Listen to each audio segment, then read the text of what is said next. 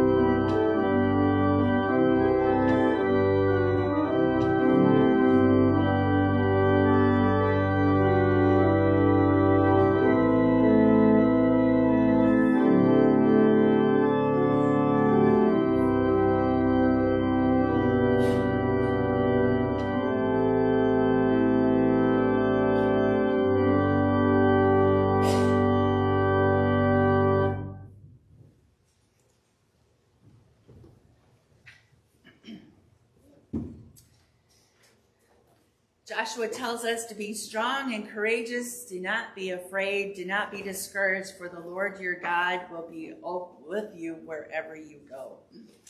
Good morning. Good morning. Good to see everyone this morning. Welcome to worship. Um, we had a really fun Easter party yesterday, and I thank everyone who helped with that.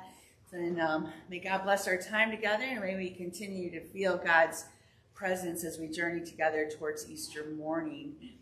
Marty has announcements for us.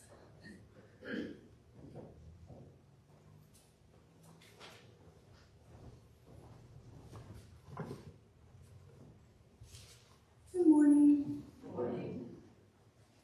Happy Happy birthday to Jeff Berg on the 27th and Amy Harmon on the 30th. Thank you to everyone who helped with the children's Easter party yesterday. Bridge Builders is Wednesday, the 29th at 2.40 p.m. Chinese Choir is Wednesday at 6.15. Bible study is Thursday at 11.30 in the fellowship room and on Zoom. We will have a Zoom council meeting Thursday at 7 p.m. Palm Sunday is next Sunday with worship at 10.30 a.m. beginning with the Children's Palm Parade. And the Maundy Thursday meal and service is on April 6th at 6 p.m. We will have a communion and tenebrae service as we remember the Last Supper and Jesus' last week as we end the service in silence with just the Christ candle burning. Easter Sunday is April 9th with a breakfast buffet at 9 till 10.15 and worship at 10.30 and then a children's Easter egg hunt on the church's front lawn following worship. And the rescheduled Piano Guys concert is at Playhouse Square on April 15th at 8 p.m. Our next church dinner will be on the fourth Sunday of April, the 22nd, from 4 to 6. We will be having a mother-child brunch on Saturday, March 13th at 10.30 with door prizes and entertainment. And mark your calendars for VBS on July 17th through the 21st from 6 to 8 p.m. And as always, please remember Jeff and Kathleen um, as they go through Jeff's um, thank you. And Danny Sands. Do we have anyone else? I'd like to thank everyone who contributed to the Easter baskets that we, they uh, uh, assembled 25 baskets that were taken to the center of Hope on Monday, and they really look nice. There's some nice pictures on Facebook, I think, thanks to, to uh, Pastor Susan. So uh, take a look at, at those. We really appreciate all of that. Um, just a little update on Jeff. He had a little blip again on Friday. Um, they were there for some pretty routine things. Unfortunately, he fell twice.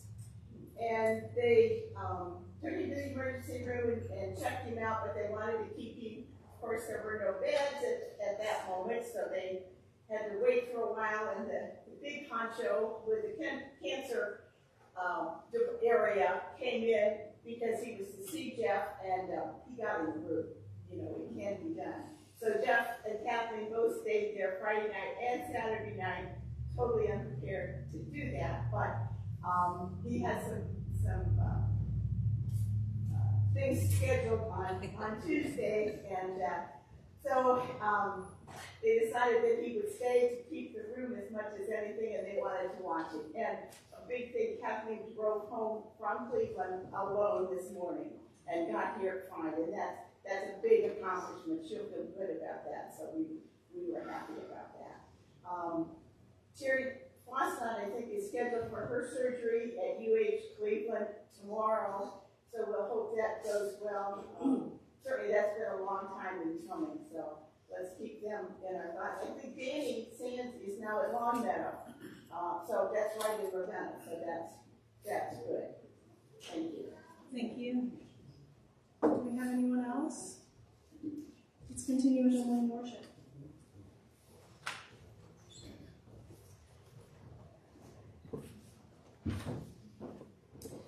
So a few years ago, there was a letter that made the national news is it was sent to someone who had died and it was sent by the Indiana Department of Social Services and it read like this. It said, your food stamps will be stopped in March because we received notice that you passed away. May God bless you. You may reapply if there's a change in your circumstances. and I was thinking, well, unless her name was Lazarus, that probably wouldn't um, be the case. But God does change our circumstances, and we're going to talk about that today. But let's begin with our call to worship. A shaft of light on a dismal day whispered in an early morning fog. A surge of hope in the face of despair. The words of a song that float in when our minds are anxious, the sacrifice of Christ that challenges us, the love of Christ that encourages us. Call it mystery, name it grace. For God is present in all of life, and often in simple and surprising ways. Let's sing together down at the cross.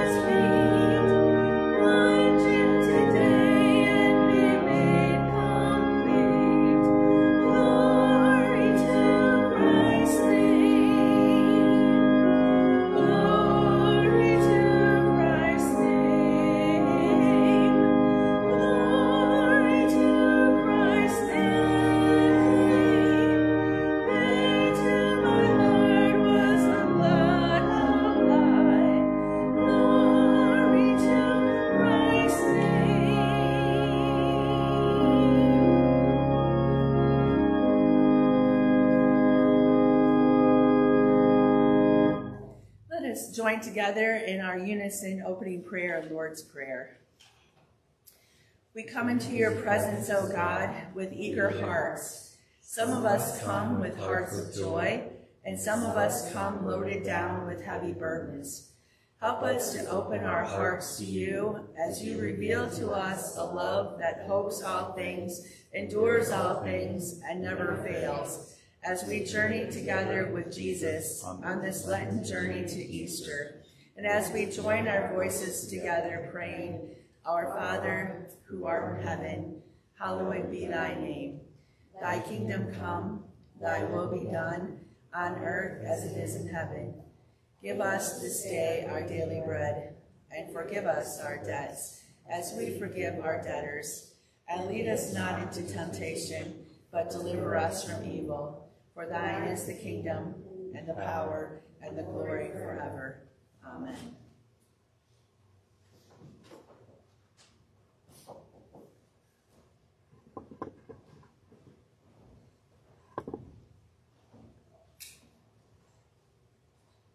Our Psalter responsive reading is Psalm 130.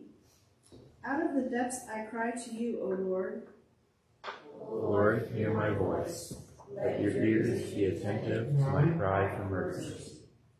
If you, O Lord, kept a record of sins, O Lord, who could stand? With you there is forgiveness, therefore you are feared. I wait for the Lord, my soul waits, and in his word I put my hope. My soul waits for the Lord, more than watchmen wait for the morning, more than watchmen wait for the morning. O Israel, put your hope in the Lord, for with the Lord is unfailing love, and with him is full redemption. He himself will redeem Israel from all their sins.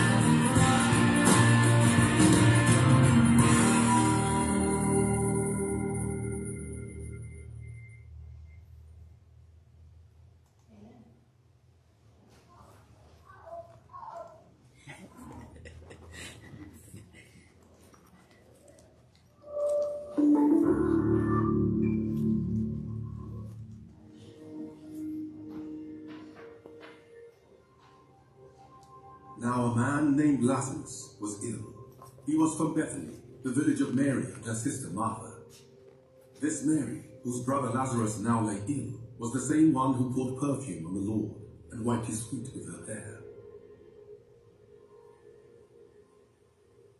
So the sisters sent word to Jesus Lord, the one you love is ill. When he heard this, Jesus said, this illness will not end in death. No, it is for God's glory, so that God's Son may be glorified through it. Now Jesus loved Martha and her sister and Lazarus. So when he heard that Lazarus was ill, he stayed where he was two more days. And then he said to his disciples, Let us go back to Judea. But Rabbi, they said, a short while ago the Jews there tried to stone you, and yet you are going back. Jesus answered, Are there not twelve hours of daylight? Anyone who walks in the daytime will not stumble, for they see by this world's light.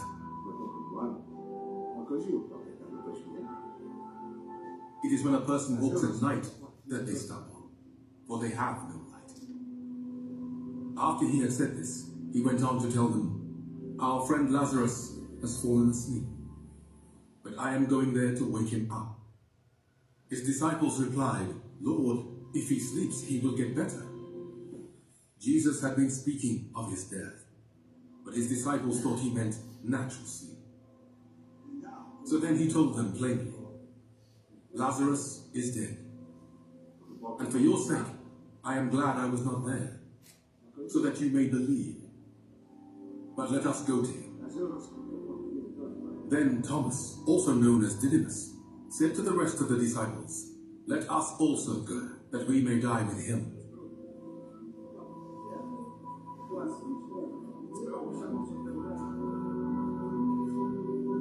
On his arrival, Jesus found that Lazarus had already been in the tomb for four days. Now Bethany was less than two miles from Jerusalem, and many Jews had come to Martha and Mary to comfort them in the loss of their brother. When Martha heard that Jesus was coming, she went out to meet him, but Mary stayed at home.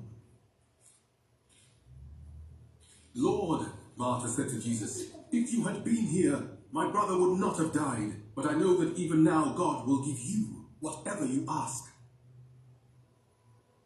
Jesus said to her, Your brother will rise again. Martha answered, I know he will rise again in the resurrection at the last day.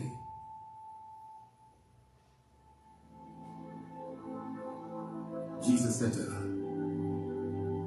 I am the resurrection and the life. The one who believes in me will live, even though they die. And whoever lives by believing in me will never die. Do you believe this? Yes, Lord, she replied. I believe that you are the Messiah, the Son of God, who has come into the world.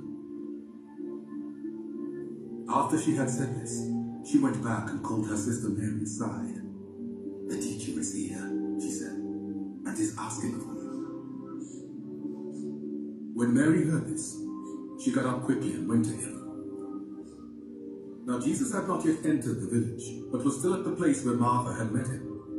When the Jews who had been with Mary in the house comforted her, noticed how quickly she got up and went out, they followed her, supposing she was going to the tomb to mourn there. When Mary reached the place where Jesus was and saw him, she fell at his feet and said, Lord, if you had been here, my brother would not have died. When Jesus saw her weeping, and the Jews who had come along with her also weeping, he was deeply moved in spirit and troubled. Where have you laid him? He asked. Come and see, Lord, they replied. Jesus wept. Then the Jews said, See how he loved him. But some of them said, Could not he who opened the eyes of the blind man have kept this man from dying? Jesus, once more deeply moved, came to the tomb. It was a cave with a stone laid across the entrance. Take away the stone, he said.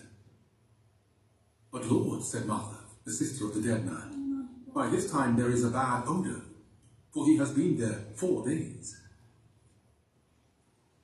Then Jesus said, Did I not tell you that if you believe, you will see the glory of God? So they took away the stone. Then Jesus looked up and said, Father, I thank you that you have heard me. I knew that you always hear me, but I said this for the benefit of the people standing here, that they may believe that you sent me. When he had said this, Jesus called out in a loud voice, Lazarus, come out.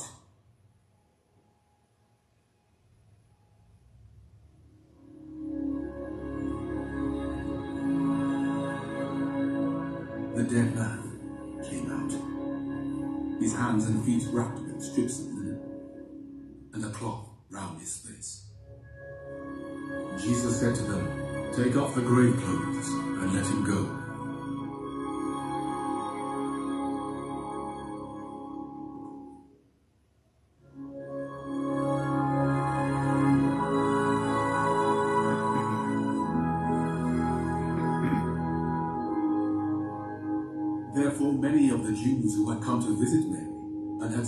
Jesus did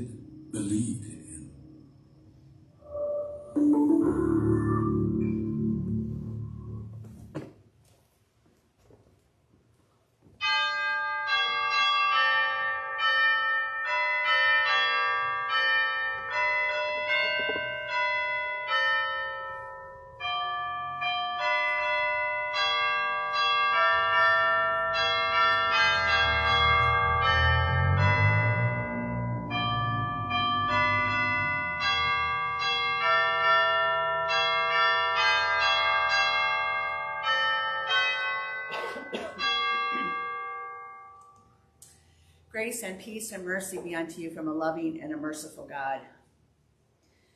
Well, if you've ever wondered or pondered that question of why did God ever want to come here to earth? Why, why would God want to be born as one of us, live with us? Well, I think this whole story of Jesus and Lazarus and Mary and Martha, I think it paints this whole awesome picture for us. What do I mean? Well, here in this one story, I think we see in Jesus the compassion of God. We, we see the power of God and the, the very heart of God, the ability of God to take what seems to be lost or dead or hopeless and all of those things and to breathe new life, not only into one person, but also into a whole situation. We see the mercy of God and we see the empathy of a loving God. And I think we see in Jesus um, a God who is not only a savior, but also a best friend. All of that, all of that is this huge part, I think, of why God wanted to come to earth to be with us, to, to show us who God is, to show us just how much we are loved, and to show us that when we hurt and when we rejoice, that God is right there with us, feeling all those things right along with us. And to show us that death never has the last say, but life and love do. Pastor Brett Blair was talking one day about a young ministerial student who was doing an internship at his church um, one summer. And um, the intern went over to the chapel one Sunday morning. He, he was going to serve Holy Communion all by himself for the very first time. And he was feeling a little bit nervous, you know, a little bit scared. And Brett said that back then they had um, uh, the communion ritual was on this card and it was laminated. And it started out with the invitation to communion and that it had on it the prayer of confession and it had the prayer of consecration. And then just before the people would come forward to receive communion, there was a line that says, hear these words of comfort from the scriptures. And then it was just a blank space because the pastor could say whatever scripture passage the passage the pastor wanted to at that point. And um, so when they got to that point of the service, the young ministerial student stood and said the words, hear these words of comfort from the scriptures. And then he said his mind just went totally blank. And he stood there for a little bit and there was this long pause and finally he blurted out the only verse he could think of, which was, Jesus wept. Well, he said later that he told Brett about what happened and he said, that he was feeling kind of bad about it. Um, but then one of the members came to him after the service and said to him, You know, when you quoted that scripture passage, Jesus wept, that was so meaningful to me because he said, Suddenly I realized that the healer of our pain is also the feeler of our pain. The healer of our pain is the feeler of our pain. It's a big reason why Jesus was born here, why God wanted to come to us in the flesh, so that we would understand that God understands our grief, our sorrows, He knows our struggles, that God understands all of our feelings and is always there for us. There's a minister serving um, now in Virginia. His name is Al Hayner. And um, Al tells kind of a powerful story of his early days of ministry. He says he came out of seminary ready to be a super preacher. You know, he was going to single-handedly um, solve all the problems of the world. You know, he'd been been trained. He was well prepared. He was now this pastor, and um, he was serving this little community in Virginia. And he was going to be this super pastor that had all the answers. And he was just ready to spout them to the world with this kind of pious religious authority. And so he did for a while. And um, then one morning the phone rang, and the father of his board chairman had suddenly died. And Al started to, to their home, and all of a sudden, it, he said it just kind of hit him. I, don't know what to do. You know, I'm their pastor. I, I'm, I'm feeling kind of scared. I'm not really sure what I what I need to say to them. And he tried to remember all of his classes on pastoral care, and he tried to recall all the appropriate passages from Scripture that he could quote to them. And he tried to think of some profound theological message that he could say to them in their shocked hour of need. So he kind of plotted out his strategy, and then he thought, okay, you know, I know what I'm going to do. I'm going to go in, I'm going to take charge, I'm going to gather the family in the living room, and I will say to them Psalm 23. That's what I'm going to do. That's the answer, he thought. There was one thing he hadn't counted on. And when he got to the home and he gathered the family all together in the living room, he looked at their faces, he saw their pain, and suddenly he realized how much he loved these wonderful people. And his heart just kind of broke for them. And he was overcome with emotion. And he tried to quote Psalm 23, and he got out as much as the Lord is my shepherd. And then he said he just sort of exploded into tears. And he cried so hard that the family rushed over to him and started ministering to him. And they took him to the couch and they kind of mopped his brow and they brought him a glass of water. And he said he felt so ashamed and so embarrassed by that. And he felt that he had failed kind of miserably and he felt kind of humiliated. And after this, um, he went through the funeral and so forth. And then he went to his bishop and asked to be moved to another church because he was just so embarrassed by all of this and didn't think he could minister there anymore. And he was transferred. Well, a, a few years go by, and um, every year at annual conference, he would kind of hide from this family. He just couldn't face them. But one evening, he came around the corner, and there they were. He couldn't avoid them. He, he couldn't hide at that point. And their faces lit up when they saw him. And they said, Al, we're so glad to see you. You know, our, our family loves you. We appreciate you so much. You know, we miss you. We, talk about you all the time. So, you know, we love, we've loved all of our pastors. Uh, uh, you're the one who helped us the most. And Al said, really? And they said, yes. He said, we'll never forget how you came and you cried with us when daddy died. Well, I think there's a really important lesson there. When people are in grief, whether you're a pastor or you're a friend or a family member or whoever you are, people don't want theological pronouncements at that point. They just want us to come and love them. They just want us to come and to cry with them. If we know that, certainly God knows that too, right? John 11, 35. Shortest verse in the Bible. One you can easily memorize. You can tell all your friends that you have scripture memorized, right? because you can say to them, John 11, 35, Jesus wept. When Jesus saw Mary weeping because her brother Lazarus had died, and then he saw all those around Mary were also weeping too. Jesus was deeply moved in spirit, the scripture tells us, and his heart was troubled, and we're told Jesus wept. Jesus wept. He wept with those that he loved, and he still does. He hurts with us, he feels our pain, he faces all of our suffering with us. And when it comes time, one thing we can know is that the Lord is with us, hurting with us, and that he's going to love us through it. Jesus will walk through the valley with us, and he'll do whatever it takes to pull us back up and to help us to move on. Because, yes, Jesus wept with those that he loved, and Jesus still does.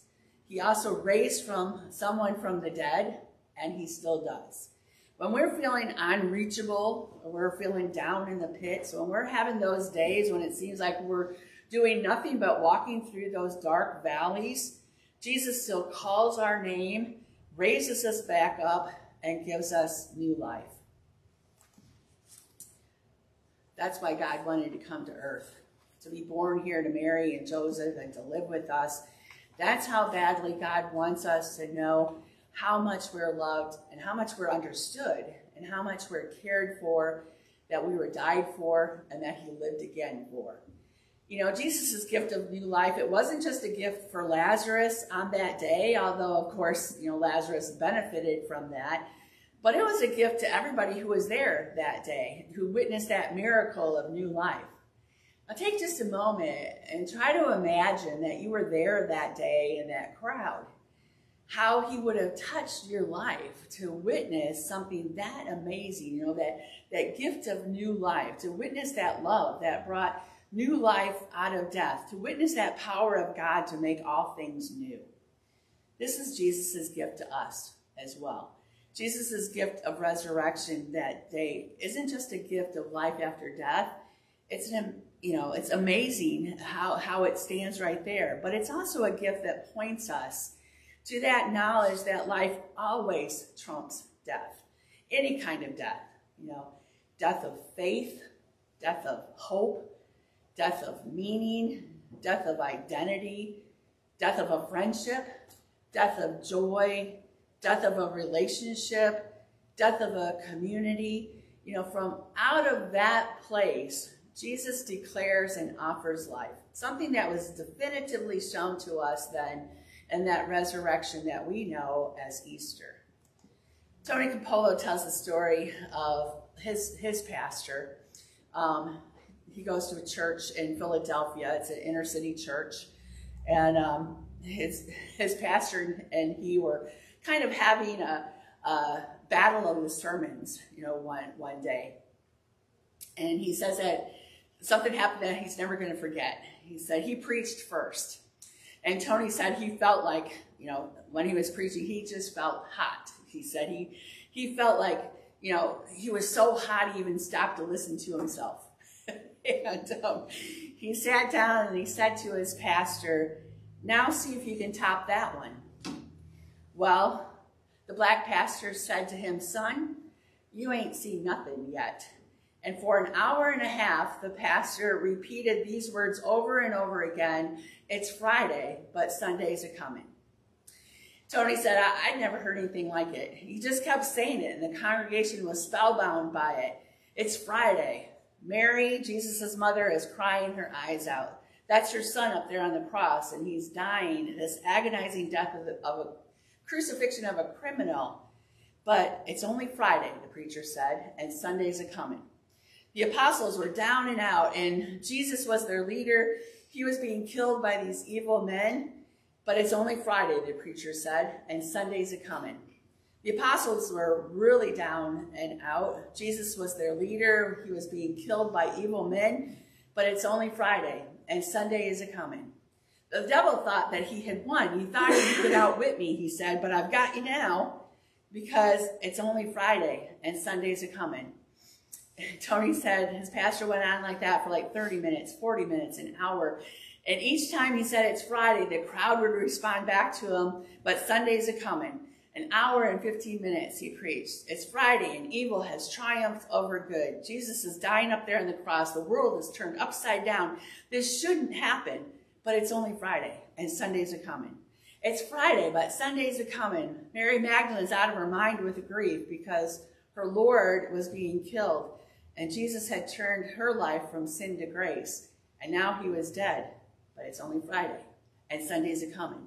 The place was rocking, Tony said, for an hour and a half. Friday, but Sunday's coming. Friday, but Sunday's a coming. The sisters and the brothers are suffering. It isn't fair. All they have to go through, but it's only Friday, and Sunday's a coming.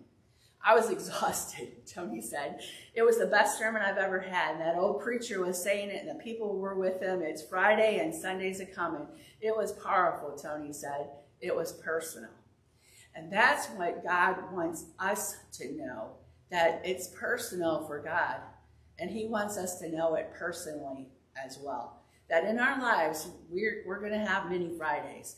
But every time we face one, God is there beside us, letting us know that Sunday is a coming. If anyone ever asks you, you know, why would God ever want to be born into this life and to live here and suffer here, to die here, tell them it's because God wanted us to know beyond a shadow of a doubt that we are going to face Fridays in this life. But the promise is that Sunday is a coming. Amen.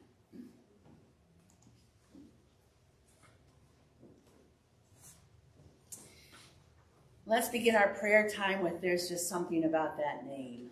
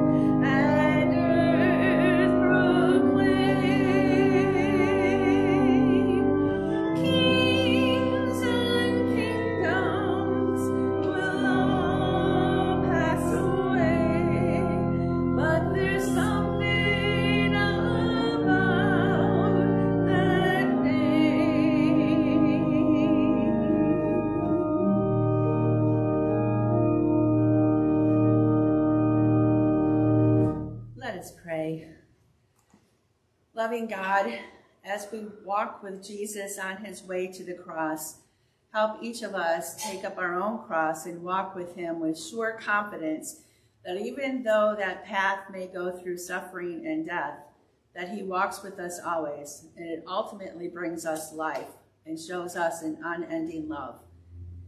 We take a moment, loving God, to ponder and to contemplate the the many things that may weigh us down or hold us captive, those things that may entomb us or leave us feeling lost, things like anger and frustration or disappointment and grief. But we take all of these things and we place them in your hands with the strong belief that you will hold them for us and heal us with a peace that passes all understanding. Thank you for your comfort and your promise to walk with us no matter what we may face. May you continue to bless us in the days to come. May you give healing for all those that we mentioned here today and those that we know within our hearts need healing in whatever form they may need healing in. And may we continue to see your face, loving God, in all others around us, and also even in our own face, our words, our deeds. Please journey with us. Give us a heart of gratitude. Help us to hear your voice and to follow wherever you may lead today and every day. We lift up these prayers in Jesus' name and place them in your hands. Amen. It's so awesome how much God entrusts us with in this world to spread that good news of love to all others around us. So let's think about that as we give back to God a portion of uh, what we have been blessed with.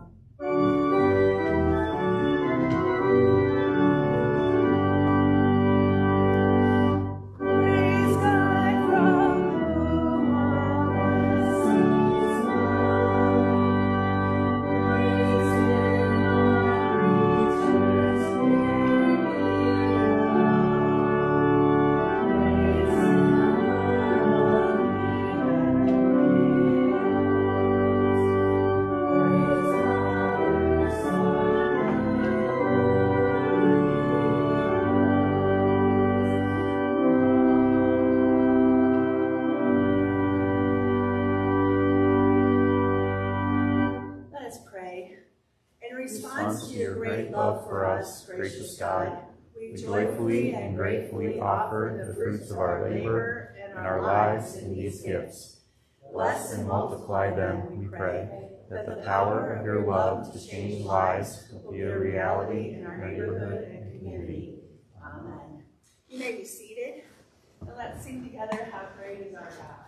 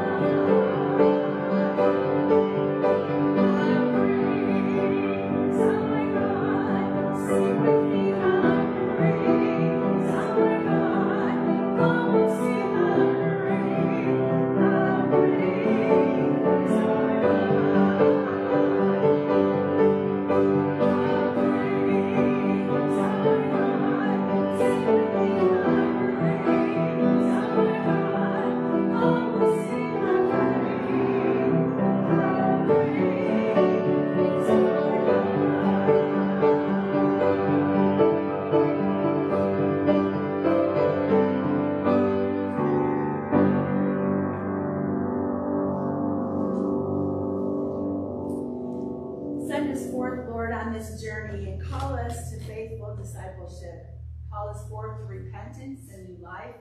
Call us to listen and to hear your word. Call us to serve and respond in your way.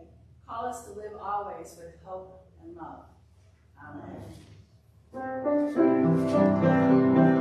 Amen.